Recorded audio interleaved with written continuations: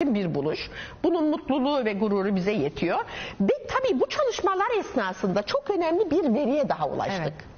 Onu da söylemeden geçemeyeceğim. Bu veride saçın yağlanmasıyla dökülme arasındaki ilişki. Ay çok güzel. Şimdi hep deniyordu ki saçın yağlı kalsın, saç yağlanması deriyi besler. Külliyen yalan.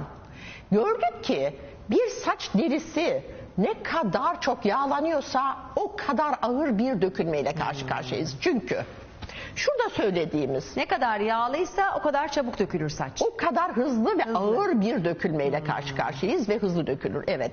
Ve yağlanmanız varsa ve bunu durduramadıysak buna uygulayacağınız o bileşenlerimizle yapılacak uygulamalarda e, şeyler ne kadar yağlanmanız varsa eğer o yağlanmayı durdurmuyorsanız alacağınız cevap tam olmaz.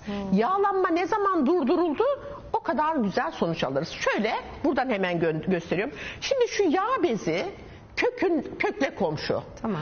Aynı şurada söylediğimiz, burada hani anlatmaya çalıştık kısa kestik ama bu hormonal aktivite aynısı e, yağ bezinde de geçerli. Tamam.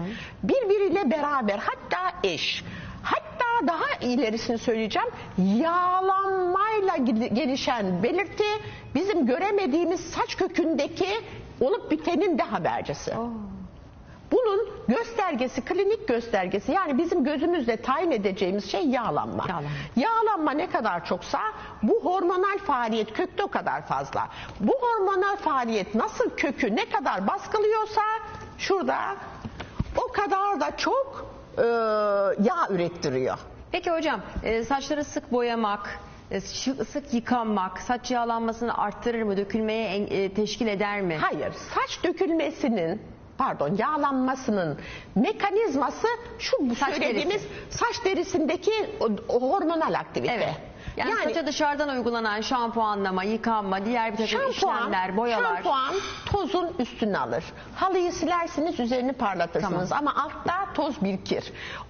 Onu dipten temizlemek gerekir. Hmm. Onun gibi yağlanmayı durdurmak istiyorsanız derinlere inecek güzel formüllerle e, çalışmalarınızı çalışmak bahsettiğim lazım. çalışmalarla hormonal aktiviteyi durduracak. Saç kökünde ama sadece.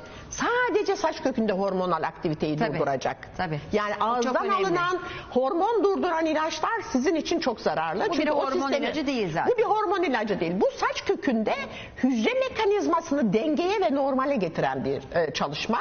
Bunu yaptığınızda saç kökünde yağlanmayı baskılıyorsanız kökte de dökülmeyi durdurur, yeni saç gelişimini başlatırsınız. bu güz- güzel bir veri oldu. Biz bu çalışmalarımızdan her şey dediniz, yıkama saçı Üstten yıkanan bir şey günlük temizliktir. Tamam. Derinin derinliklerini etki etmez. Etki etmez, Ama kullanacağınız bu bileşikler, bu şeyler derinin derinliklerine ulaşarak çünkü burası bir derinin uzantısıdır ve derinin kendi iç tabakasına etki eder. Dolayısıyla da orada baskılamak mümkündür.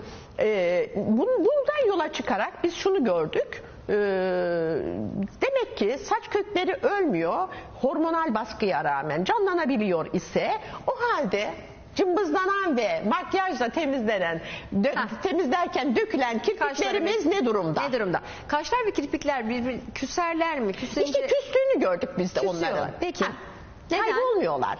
Hücreler orada cımbızlamayla ve kirpiklerimizi işte kıvırmaydı, makyaj vesaire. temizlemeydi veya işte çevre kirliliği, sigara dumanı, stres vesaire vesaire birçok faktör var.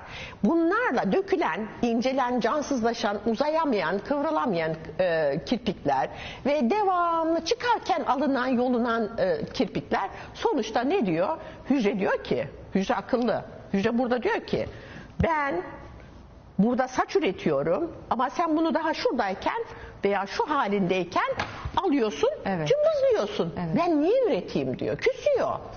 O zaman biz ona diyoruz ki küsme bizimle. Hadi gel barışalım. Neyle? Bu yapılan çalışmaları uyguladığınızda sabah akşam sadece kökleri ama.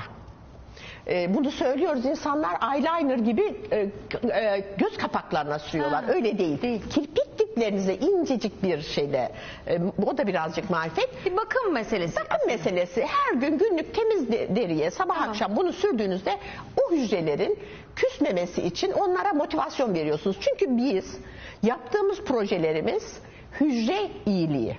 Hücrenin e, gençleşmesi, iyileşmesi ve hücrenin kendi görevini hatırlatması yönünde. Dolayısıyla biz onlara sadece o görevi hatırlatıyoruz. Dolayısıyla da barışmış oluyoruz. Barışıyor. Kaşlar da aynı şekilde. Aynı kaşlar da öyle. İstenilen bölgeye.